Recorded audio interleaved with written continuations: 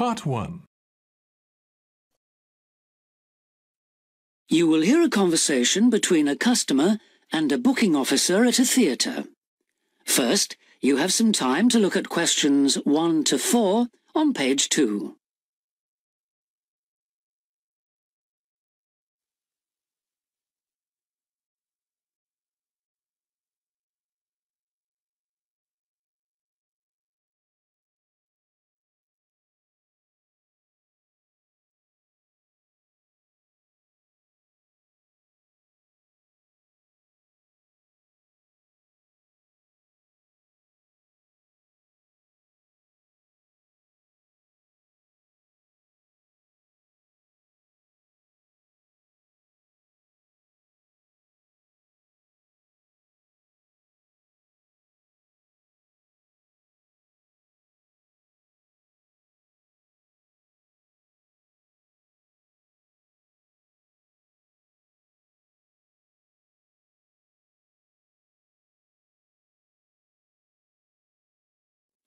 Now we shall begin. You should answer the questions as you listen, because you will not hear the recording a second time. Listen carefully and answer questions 1 to 4. Hello, Theatre Royal Plymouth? Oh, uh, hello. I'd like to make a booking, please. Yes. What is it you want to see? The Imposter. Right. And which day did you want to come? Friday the 25th. Just a moment and I'll check availability on the computer.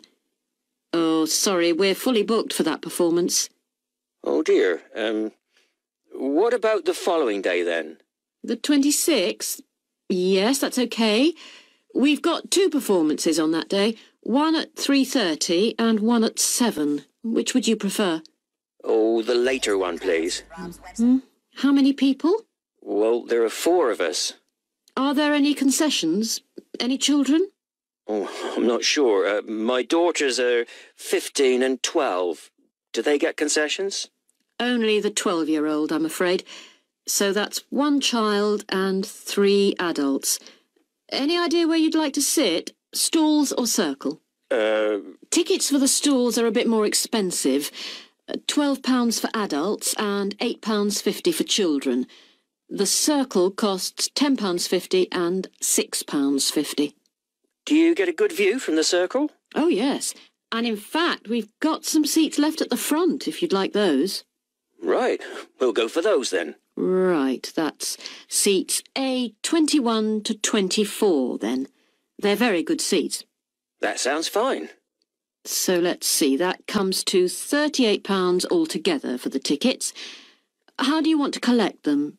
Shall I put them in the post? They'd be sent today by first-class mail and there'd be an additional charge of £1 to cover postage and administration.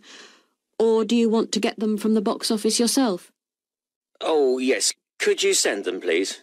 No problem. That'll be £39 altogether. Before you hear the rest of the conversation, you have some time to look at questions 5 to 10 on page 2.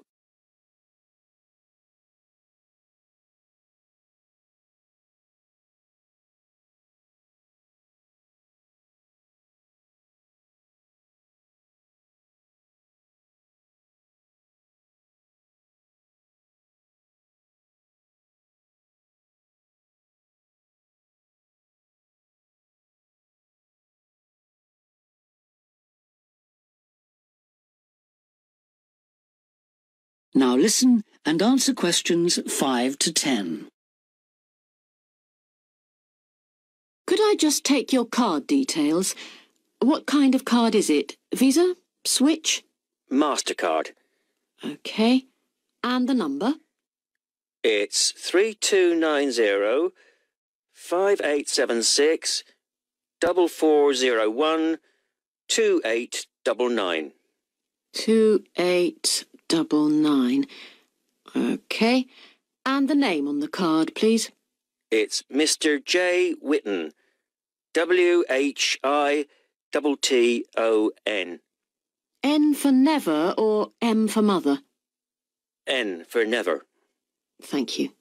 And now I've nearly finished, but I just need your address and postcode. Yes, it's 42 South Street, Okay. Is that Plymouth? London. And the postcode? It's SW2 5GE. That's fine then. The ticket should be with you tomorrow. Is there anything else I can do for you? Yes, I was wondering if I could get regular information about what's on. Certainly. I can just add your name to our mailing list. Would that be okay? That would be very good. Yes, please. Oh, and there is something else, sorry.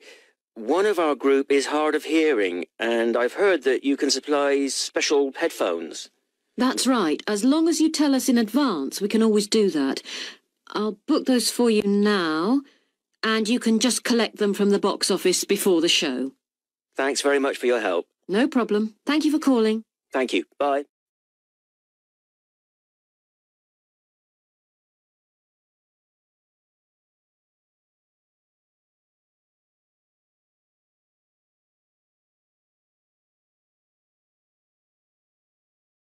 That is the end of part one. You now have one minute to check your answers to part one.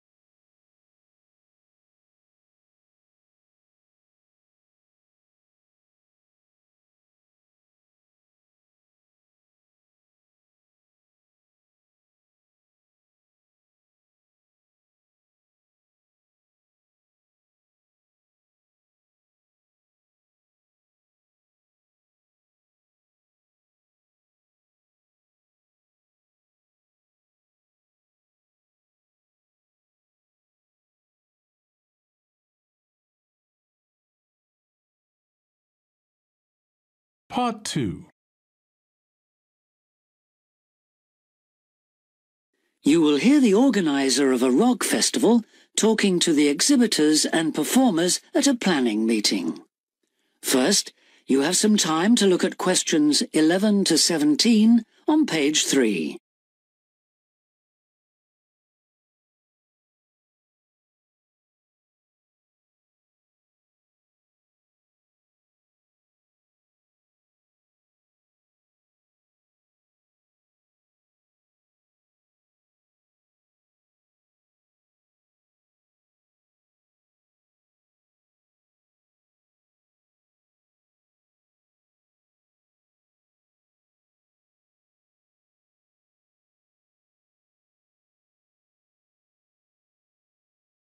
Now listen carefully and answer questions 11 to 17. Good evening, everyone. I'm glad you could all make this planning meeting for what promises to be the biggest and most colourful free rock festival ever held in the Southeast. Uh, so whether you're a performer, a craft exhibitor or an artist, we all extend a big welcome to you. Uh, could we turn first to the plan so I can familiarise you with the layout of the site, uh, which as you know is an old football stadium. We're really lucky to have so much space this year. You can see the main gate at the bottom of the plan. Have you found it? Uh, that's where most visitors will enter. It's also the entrance for those taking part in the craft fair. We've set the stalls just inside the gate on the left in a circle. Uh, if you walk straight ahead from the gate along the path without turning right, you'll come to some steps up to the football stadium. On the left of the steps is the fringe stage. This is for alternative artists. Uh, they include folk singers, poets and other acts which are more suited to a smaller stage. And they should also enter by the main gate. On the opposite side of the steps is a restaurant and adjoining that is the main festival information point. Here you can get extra programs and up to the minute information about events and you can discuss any last minute problems, although we hope everything will be running smoothly when the festival opens. Uh, right, uh, coming back to the plan, you go up the stairs to the stadium. The entrance for the rock bands is on the far side, and on your right is the main stage, which will have powerful illumination and amplification throughout the weekend. There will probably be TV vehicles adjacent, that's in this area only, for recording purposes. If you look at the outside of the plan, you can see a third gate for exhibitors, opening onto a side path. A little way down the path, before you get to the trees, is the building where the art exhibition's being housed. Then, finally, there's just one more building marked on your plan, quite near the main gate. It's divided into lock-up garages, so I hope you now feel quite familiar with the main festival area. Based on Crackles with Rob's website. Before you hear the rest of the talk, you have some time to look at questions 18 to 20 on page 4.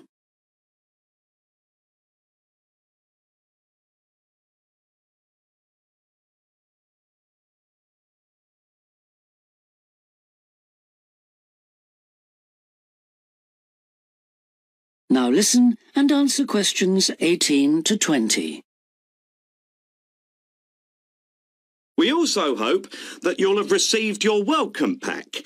In it, you should find two parking tickets for yourself and anyone assisting you, an armband to indicate that you are an official visitor, one of our brilliant yellow badges with the new festival logo, a festival programme, and several sheets of information that we'd ask you to study carefully before the event. Please could you note that all setting up of stalls, displays and so on should be completed by 9.30am and that, unfortunately, we won't be able to allow any vehicles to enter the festival area after that time. Yeah, it's a big site, but even a few vehicles parked in the wrong place can block the paths. With crowds of people, and we are expecting several thousand, this can merely be a nuisance, but if there's an emergency and access for an ambulance is blocked, the situation will become not just annoying, but also dangerous. And don't forget, it could be your mother or your child who needs help. Several exhibitors and craftspeople have asked us if any provision can be made for overnight storage of tables, chairs and display items rather than having to take them home and bring them again. Uh, we're pleased to say that a limited amount of space has been made available in the building near the main gate. You'll be issued with a yellow ticket to reclaim your property, similar to the red parking tickets, so do check you bring the right one. But please understand that this is entirely at your own risk, as we can take no responsibility for items lost or damaged. Uh, I think that's all I have to say at this point, but thank you all for your attention.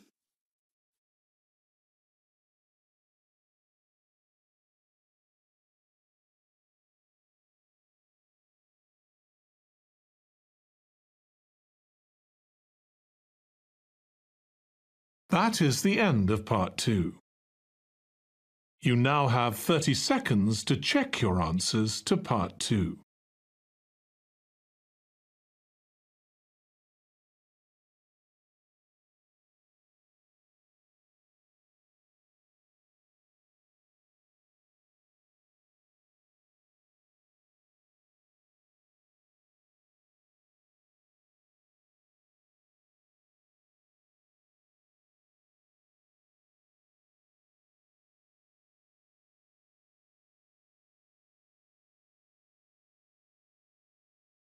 Part 3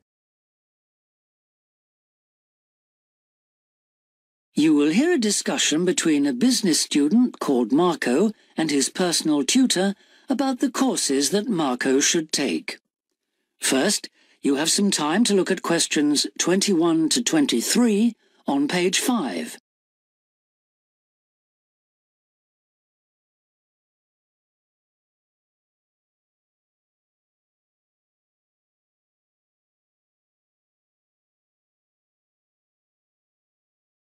Now listen carefully and answer questions 21 to 23. Hi, Marco. Come in. Thanks. I've got a bit stuck trying to select courses for next semester. Could you help me, please? Of course. Sit down. First of all, most people just go for the areas of business that they're interested in, but even if something doesn't look very stimulating, it's important that you can use it once you get a job. It's not much good choosing areas that aren't going to be helpful later on. Right. I want to go into management, so I'll need to think about that. And should I start specialising in a particular area yet? I don't think that's wise at this stage. It's better to aim for a wide variety of subjects, especially as management covers so many possibilities. You shouldn't be limiting your choices for later on. Yes, I see. You should also look at how the course is made up. Will you have regular seminars and tutorials, for example, as well as lectures? Okay. Some of the lecturers are quite big names in their fields, aren't they? Mm-hmm. Should I aim to go to their courses? Well, remember that the lecturers who aren't well known may still be very good teachers. I'd say we have a consistently high standard of teaching in this department, so you don't need to worry about it. Before you hear the rest of the discussion, you have some time to look at questions 24 to 30 on pages 5 and 6.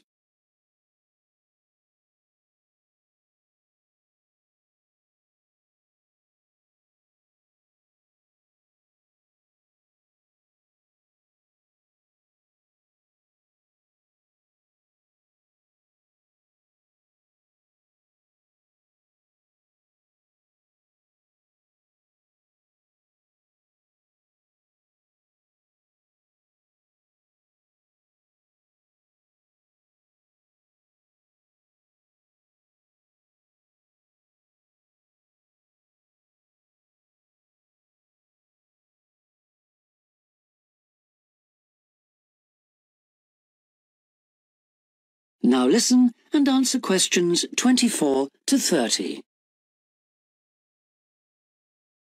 Good. Well, that's a great help. Now, last time we met, you mentioned doing team management, didn't you? That's right. I'm still quite keen on the idea. Mm-hmm. The trouble is that because of changes in the content of various courses, team management overlaps with the Introduction to Management course you took in your first year. Oh. So what you learn from it would be too little for the amount of time you'd have to spend on it. I'll drop that idea then. Have you had a chance to look at the outline I wrote for my finance dissertation? I left it in your pigeonhole last week. Yes. Why exactly do you want to write a dissertation instead of taking the finance modules? It'll be pretty demanding. Well, I'm quite prepared to do the extra work because I'm keen to investigate something in depth, instead of just skating across the surface. I realise that a broader knowledge base may be more useful to my career, but I'm really keen to do this. Hmm, right. Well, I had a quick look through your outline, and the first thing that struck me was that you'll have to be careful how you set about it, as the way you've organised it seems unnecessarily complex. The data that you want to collect and analyse is potentially valuable, but you'll need to narrow down the subject matter to make the whole thing manageable. Okay. I'll have another look at it. I was talking to Professor Briggs about it yesterday, and I got some more ideas then. For part of the dissertation, I was thinking of trying to persuade finance managers from three or four companies to let me ask them about their company finances. Mm -hmm. If not, I think I'll have to change to another topic. Well, go ahead then. I could give you some names. Thanks. Now, let's talk about practicalities. Your dissertation must be finalised by the end of May, so you should aim to finish the first draft by the end of March. Is that feasible? Yes, it shouldn't be a problem. I'll need to register for the dissertation, won't I? Is that with the Registrar's Department? No, it's internal to this department, so you just need to let the Secretary know. Do that as soon as you're sure you're going to write the dissertation. OK. Then, to analyse your statistics, you're going to need some suitable software. If I were you, I'd drop into the computer office and ask them for a copy. Right. So, if I revise my outline,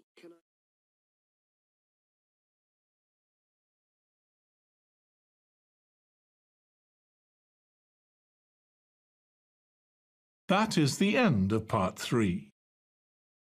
You now have 30 seconds to check your answers to Part 3.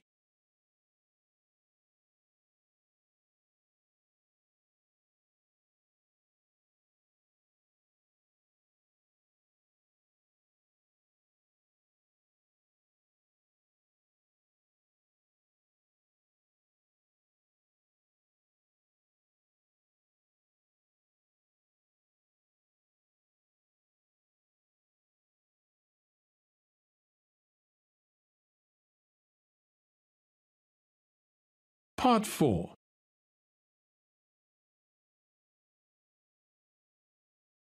You will hear a talk about a research project on the tiger shark. First, you have some time to look at questions 31 to 40 on pages 7 and 8.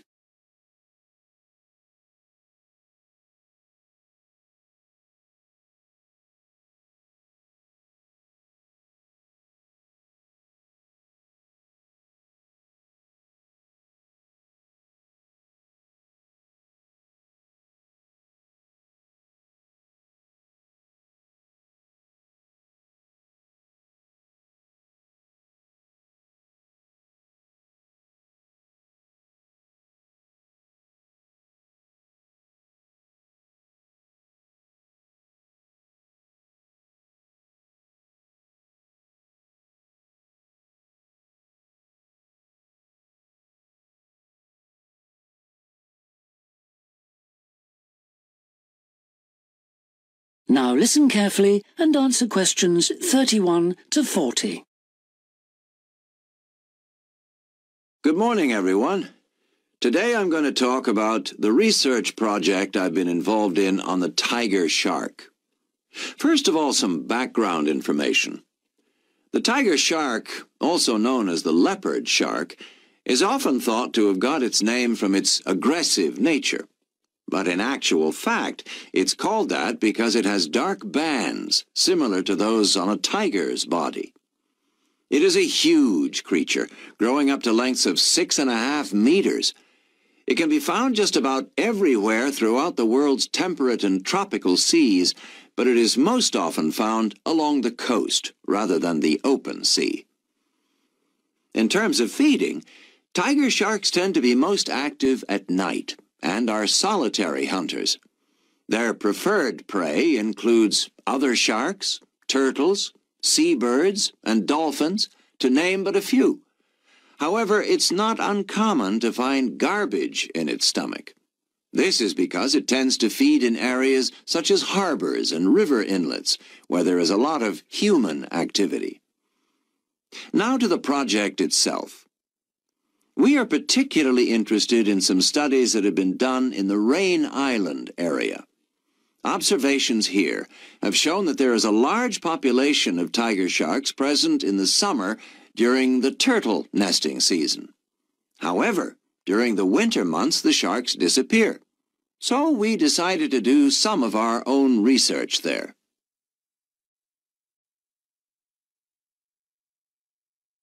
The first step was to tag a number of sharks so that we could follow their movements. To do this, we first needed to catch the sharks. Early in the morning, we baited lines with large bits of fish and set them in place. These lines were then checked every three or four hours. If no sharks were caught, the baits were replaced. Once a shark had been caught on one of the baited hooks, it was pulled in close to the boat and secured so that we could carry out a number of brief activities to aid our research. This usually took no more than about 10 minutes and was carried out as carefully as possible to minimize any stress to the shark. Each of the tiger sharks that we caught was measured and fitted with an identification tag, and also a small amount of tissue was taken for genetic studies.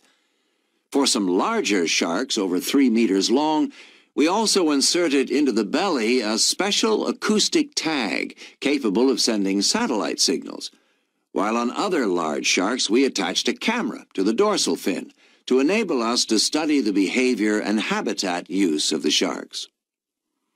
After this, the shark was released, and we were able to follow its movements. So what was the purpose of all this tagging?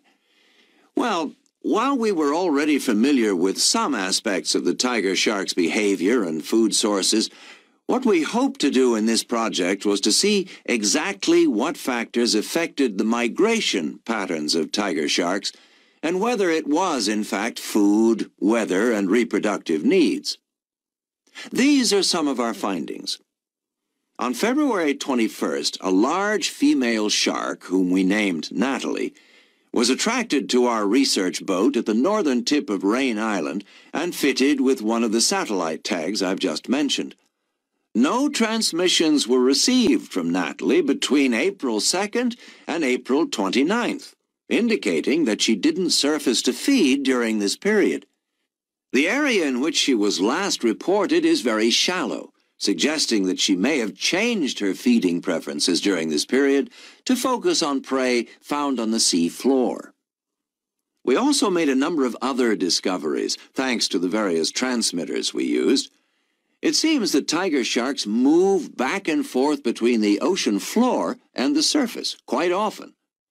This may help the sharks conserve energy while they swim, but it probably also helps them hunt, since this movement back and forth maximizes its chances of not being detected by its prey until the last minute. So far, our findings have not been conclusive. However, we have gained some very interesting insights into the behavior of tiger sharks and are now hoping to develop our research further.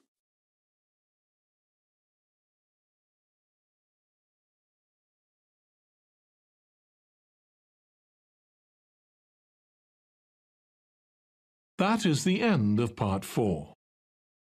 You now have one minute to check your answers to part four. That is the end of the listening test. In the IELTS test, you would now have 10 minutes to transfer your answers to the answer sheet.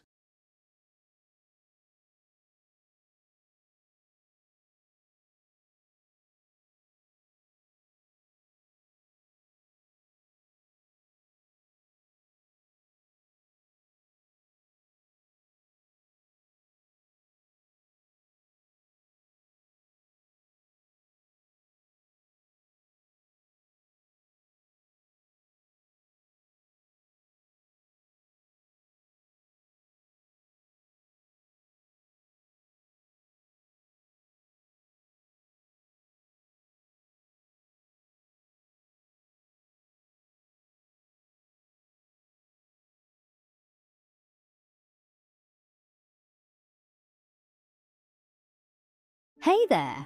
If you're prepping for the IELTS speaking test, I've got some top tips to help you ace it. So let's dive right in. First things first, be yourself. The examiner wants to hear your natural voice, so don't try to fake an accent or use unnecessarily fancy words. Speak clearly and confidently. Next, practice makes perfect. Try to speak English as much as possible in your daily life. Chat with friends, join online forums, or even talk to yourself in the mirror. The more you practice, the more fluent you'll become. Don't be afraid to pause and think. If you need a moment to gather your thoughts, that's okay. Just say something like, That's an interesting question. Let me think about it for a second. This shows you're taking the question seriously. It's also super important to expand your answers. Instead of giving short, one word responses, try to add more details. For example, if asked about your favourite hobby, don't just say reading. Explain why you like it, what kind of books you read, and how it makes you feel. Remember to use a range of vocabulary. Avoid repeating the same words over and over. Try to learn synonyms and new expressions. This will make your speech more interesting and engaging. Another tip, stay on topic. Make sure your answers are relevant to the question. Wandering off subject can confuse the examiner and may lower your score. Finally, relax and enjoy the conversation. Think of the speaking test as a chat with a friend rather than a formal interview. Smile, be enthusiastic, and let your personality shine through. So, those are some of my top IELTS speaking tips. Practice these, stay confident, and you'll do great. Thanks for watching, and good luck on your IELTS journey. Catch you later.